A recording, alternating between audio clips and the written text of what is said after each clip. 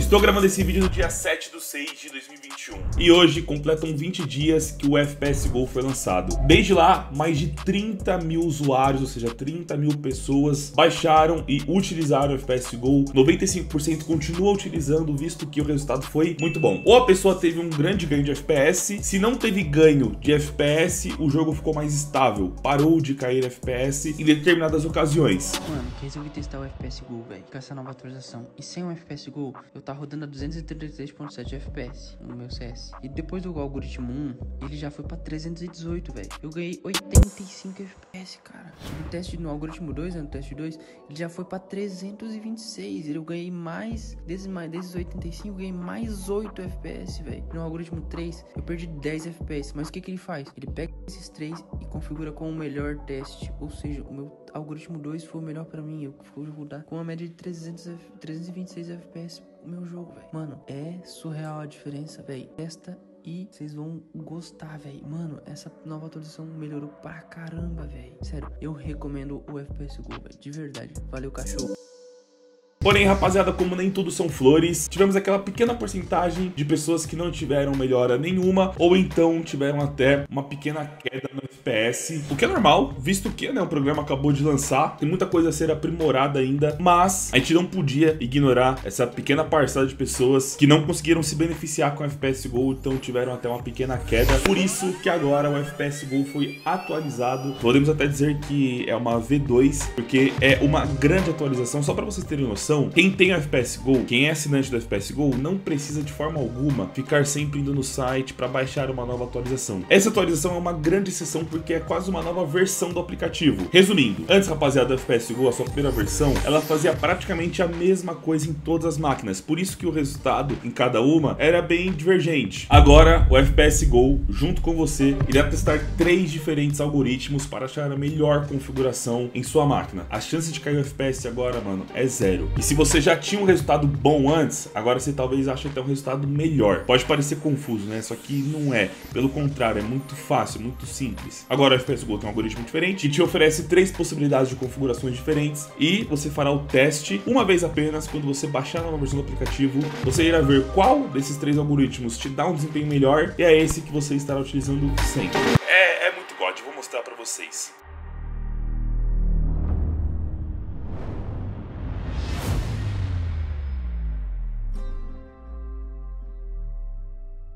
E esse mês você precisa utilizar o cupom DOG porque eu estarei sorteando nada mais, nada menos que 5 M9s Doppler para 5 diferentes usuários do cupom DOG no csgo.net. Então se você quer ganhar uma M9 Doppler, utilize o cupom DOG e preenche o formulário que está na descrição. E nesse mês, rapaziada, eu estarei sorteando nada mais, nada menos que uma M9 baioneta Marble Fade Stat Trek avaliada em quase 7 mil reais para usuários do cupom Cachorro1337 ou cupom DOG no Insane. Formulário já tá na descrição, então use o cupom Cachorro1337 e já preenche o formulário.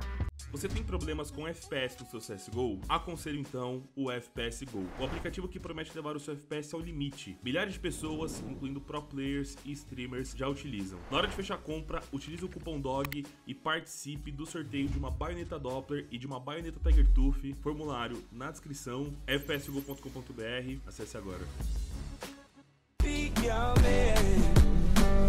I'm just lost in this moment. I've been zoning, I've been zoning. Sejam bem-vindos, rapaziada, a mais um vídeo aqui no canal Cachorro 337. Muito orgulho aqui desse projeto que eu faço parte, que já ajudou aí mais de 30 mil pessoas. Isso com nem um mês, né, de aplicativo, enfim, agora tem uma atualização que vai mudar muito. Ó, entra no site, clique em entrar, se você não fez o seu cadastro, passa. É muito simples, só cadastrar seu e senha e é isso. Eu já vou deixar aqui, ó, para eu sempre ficar logado. Eu já tenho a minha continha, vamos entrar aqui. Lembrando, rapaziada, que o FPS Go, ele tem aí os 7 dias gratuitos que você pode testar. Se você já testou os 7 dias gratuitos na versão anterior, relaxa, agora tudo foi resetado, você pode testar mais uma vez nessa nova versão. Então, mais 7 dias aí para todo mundo testar. Eu garanto que agora o resultado será muito satisfatório. Você não precisa colocar o cartão de crédito aqui para baixar os 7 dias graça, não. É só você aqui, ó, em planos, selecionar alguns planos e selecionar o método de pagamento Pix. Aí você baixa o aplicativo, testa aí por 7 dias e pronto. Assina depois, caso queira. Instalando aí a nova versão do FPS Go. Então beleza, já loguei aqui, deixa eu ativar, ele vai preparar os boosters e aí agora vem a grande novidade. Pronto, rapaziada, depois que ele faz toda a limpa aqui, ele pede para reiniciar. Vamos dar uma reiniciadinha e já volto. Então pronto, vai ser reiniciado, clique em jogar e agora ele vem. Olá, Rian, vamos configurar o FPS Go para que você tenha muito FPS. Iniciar configuração. Então prestem atenção, vocês farão a mesma coisa no computador de vocês, só que é importante deixar claro que isso só será feito a primeira vez que vocês baixarem essa primeira versão. Depois não precisa mais, ele vai pegar a melhor das três configurações e vai deixar fixo sobre o FPS Go, vai estar com aquela configuração, enfim, vou mostrar aqui. Você sabe fazer teste de FPS no mapa FPS Benchmark? Não? Eu quero instruções? Sim, pode continuar. Eu conheço, eu sei, mas eu vou colocar aqui não só para mostrar para vocês também que não sabem, enfim. Basicamente ele vai mostrar aqui, né, como você pode baixar o mapa, né, se inscrever no mapa, é só clicar e já vai abrir o link direto. Eu já tô inscrito, né, vocês vão achar assim, ó, é só clicar em se inscrever e pronto, vai estar tá lá no CSGO de vocês. Ótimo, vamos abrir o jogo e você deverá iniciar uma partida nesse mapa, atirar no botão Start e aguardar o resultado. Então é muito simples, eu vou mostrar aqui, ó, testar agora. Seu FPS poderá aumentar ou diminuir durante o próximo teste, anote o resultado exato para ajustarmos corretamente aqui vocês têm que ser, mano, 100% fiel. Vocês farão aí alguns testes e é importante demais, demais, demais, demais anotar o resultado que vocês terão em cada teste. Porque basicamente, tem coisa que o aplicativo faz em um PC que aumenta o FPS naquela máquina, mas que em outra máquina talvez até prejudique. Isso falando por cima, rapaziada, vai muito além. Por isso que você tem que ser muito fiel na hora de responder aqui, ó. E é simples, ó. Eu entendi, então ele vai abrir aqui o jogo. Então, rapaziada, esse primeiro teste aqui, o FPS Go não mudou nada. Ele abriu o CS pelo jeito que você configura aí abrindo pela Steam normalmente no caso. O meu tava nessa configuração, porque eu tava tirando print, mas eu vou colocar exatamente como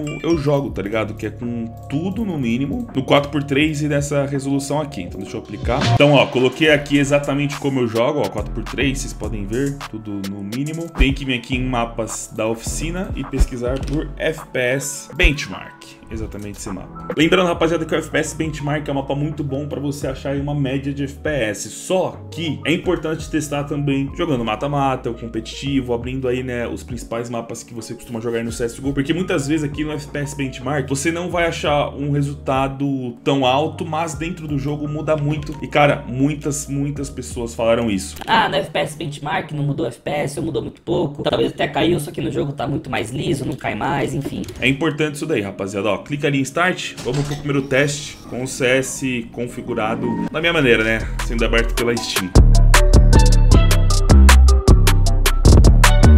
Então, rapaziada, o primeiro teste aqui deu uma média de 457.18 FPS. Então, ó, vamos salvar esse número. É de extrema importância. Pois isso, a gente fecha o CSGO, aguarda 15 segundos. E é importante você ter salvo aquele número do teste, porque senão você vai tá prejudicando. Ó. Qual foi o seu resultado? Aqui, ó, dei no Ctrl-C, Ctrl-V mesmo. Continuar. Agora a gente vai começar a testar os algoritmos do FPS Go. Tem o algoritmo 1, 2 e 3. A gente começa testando pelo 1, óbvio, né? E tá aqui, ó, a mensagem. Seu FPS poderá aumentar ou diminuir durante o próximo teste. Anote o resultado exato para ajustarmos corretamente. Então, ó, abri aqui agora. Vamos fazer um teste pelo FPS Go.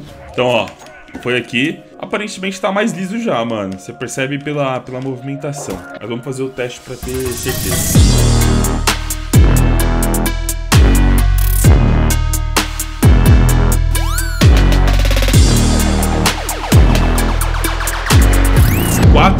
475. Não, mano, acho que foi, acho que foi um aumento, mas um aumento quase de nada, ou nem teve aumento, não sei. Vamos ver, deixa eu copiar aqui exatamente o número. Aguarda aqueles 15 segundinhos e ele vai perguntar aqui quanto que deu, né, nesse algoritmo 1. Aqui, ó, qual foi o resultado de FPS? 475. Vamos para o algoritmo 2.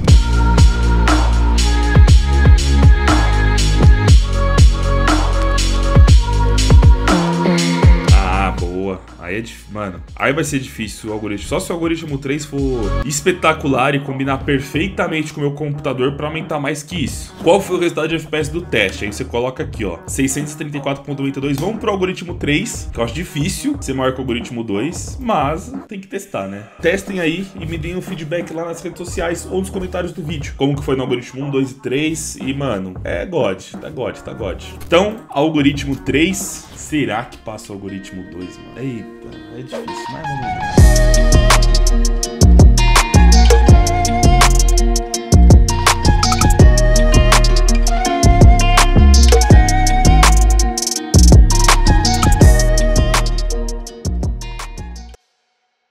Algoritmo 3. Vou colocar exatamente, ó. O FPS Go foi configurado, ele não me falou, mas vocês viram aí no vídeo, né? Eu acho que foi o 3, acho que o 3 foi um pouquinho melhor. E pronto, agora não preciso fazer mais nada no meu FPS Go. Qualquer atualização, o aplicativo vai atualizar sozinho, tá ligado? Sozinho, então não tenho que eu ficar me preocupando. Vou abrir agora o FPS Go, que já está com o melhor algoritmo, né? Com a melhor configuração para o meu computador. Vou ali testar o FPS em alguns mapas. E essa é a grande novidade, rapaziada. Agora o FPS Go fará três testes diferentes, te dará aí três opções. E ele verá qual foi a melhor opção possível. É de extrema importância que você faça o teste da maneira mais correta possível, cara. Faz o primeiro teste, a configuração que você joga, depois só abre com o FPS Go exatamente da forma que ele abriu. Vai fazendo os testes. Ó, na base aqui, rapaziada, 400 ali. Mano, eu vou ser 100% sincero, eu não fico medindo meu FPS quando eu jogo normalmente, então eu não sei é, exatamente o quão melhor tá em números, mas dá pra notar, isso é inegável, que o jogo tá muito mais liso, cara. Tá, tá tudo muito mais liso.